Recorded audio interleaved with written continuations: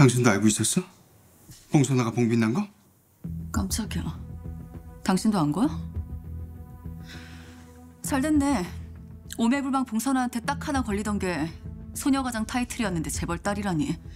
이제 얼씨구나 가면 되겠네. 당신 언제부터 알았어? 알면 말을 했어야지.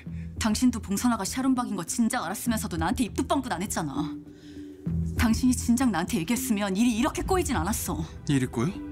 그 일이 어디서부터 꼬였는데? 그것도 내 탓이야? 그만둬. 지금 이렇게 싸울 때가 아니야. 뭐야 너?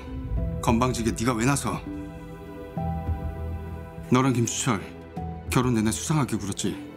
그거 이혼 기책 사유에 해당되는 거 알고 있어? 누가 할 소리?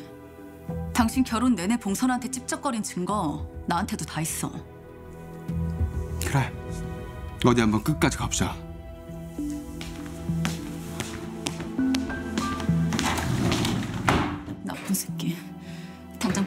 달려가겠지. 정말 이혼할 거지? 보면 몰라?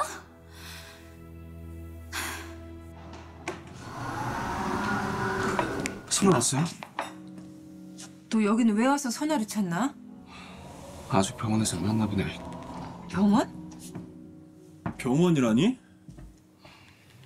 주일한 이사님이 트럭에 치여서 지금 수술받고 혼수 상태예요. 아니 어떻게 하다가 선아를 구하려다가 대신 다치셔서 입원 중이에요. 세상에 그래서 선아는 괜찮은 거야?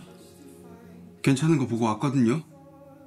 암튼 선아 오면 저 왔다고 전해주세요. 참, 선아가 주일한 이사님 친딸인 거 아셨음 저한테 진작 귀뜸을 해주셨어야죠. 뭐?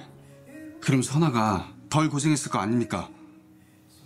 아니 그 큰 비밀을 다들 꽁꽁 숨기고 어쩌잔 거야.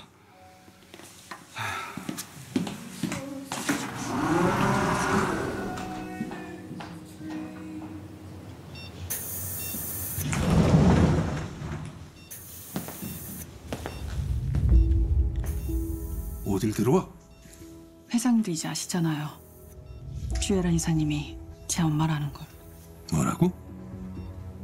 누구 때문에 이 사람 여기 이렇게 누워있는데 봉선아 당신 구하려다 이렇게 된 거 아니야?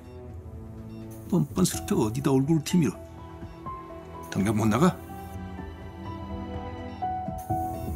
오늘은 그만 가보겠습니다. 하지만 잊지 마세요. 제가 회장님께 한 말이요.